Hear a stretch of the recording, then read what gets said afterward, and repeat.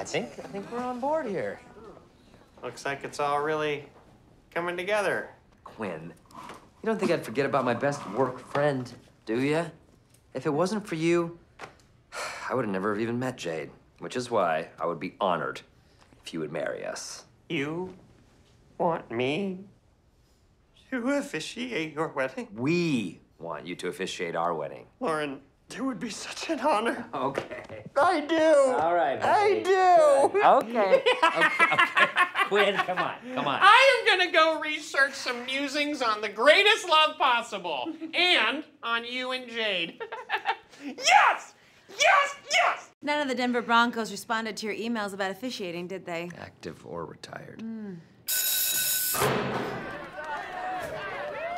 Thank you so much for watching. For more clips of who ca- what is it called? It's called Those Who Can't. Learn it.